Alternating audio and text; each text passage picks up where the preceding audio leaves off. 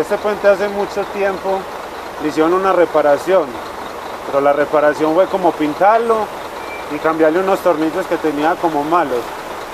Y como hay veces pueden observar, el puente se balancea hacia arriba, hacia abajo, tiene como tres vigas reventadas, los tornillos hay que quitarlos, se pueden quitar con la mano y a uno siempre le da miedo, pero bueno, ante todo Diosito lo cuida a uno y lo protege pasando este puente porque verdaderamente este puente está muy malo.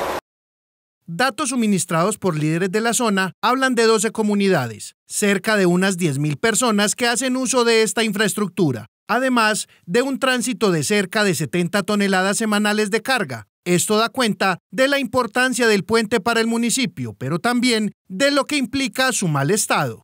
Hace por ahí 46 años que se construyó y hace ahí 6 años, 7 años que no se le hace mantenimiento. Cuando este puente de pronto llega a caer, le llega a pasar algo, nos toca eh, cargar la, sacar la carga lomo de mula a por ahí unas 8 o 10 horas para llegar hasta el casco urbano. Entonces la idea no es dejarlo pues que nos caiga porque la problemática es demasiado grande. El puente fue construido para 5 toneladas de, de carga y ahora estamos parando por ahí entre 15 o 17 toneladas. ¿Qué pedimos nosotros como zonal? Hombre, que lo construyan el puente, porque ya este puente no da. Ya este puente donde está estaba fracturado, ya dio lo que iba a dar.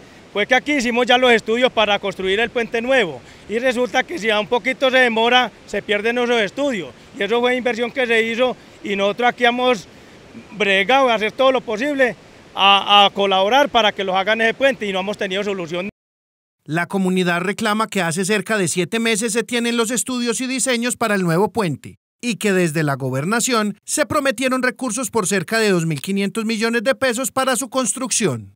Nosotros tememos de que este puente se caiga con una chiva de estas y con una cantidad de gente y una cantidad de carga, porque esto es una vereda muy agrícola donde sale mucha panela, café, lulo, plátano, Aquí trabaja pues una vereda muy, muy cultivada. Y él en una avenida que hizo aburrado nos prometió 2.500 millones de pesos para construir este puente y también el comité de cafeteros está muy interesado de...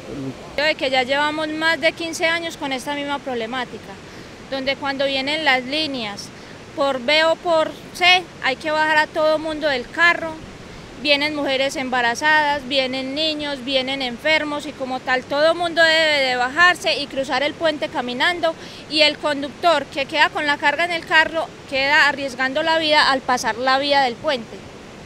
Y ya llevamos muchos años con la misma problemática. Es más, eh, allí habían hecho un diseño de otro puente que hace siete meses lo hicieron.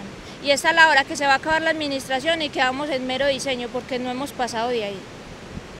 Desde la administración municipal se refieren a la complicada situación que se tiene con este puente.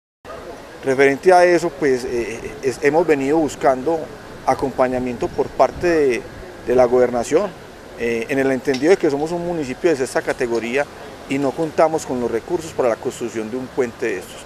Eh, ya desde el municipio de Urrao se han, venido realizando algunos estudios y diseños para saber más o menos cuánto sería el valor de la construcción de cada uno de estos puentes.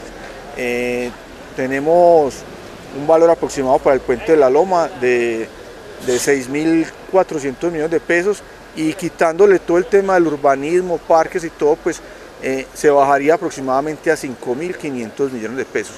Es el valor real, ya desde el municipio hemos venido adelantando con la comunidad la, la donación de los predios y la legalización con el fin de que cuando tengamos ya la, posibilidad de contar con el recurso pues, y hacer la intervención, pues se pueda hacer. Eh, estamos a la espera de, que parte de la gobernación o, por parte de Envías eh, miren este, este municipio y, miren estas veredas tan, tan necesitadas del tema de conectividad y que se encuentran en tanto riesgo.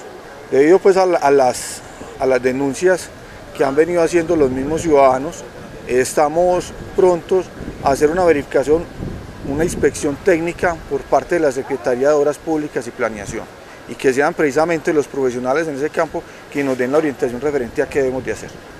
La gestión no da más espera y la construcción del nuevo puente es imperativa, pues no se puede esperar a que una tragedia enlute y deje estas comunidades incomunicadas.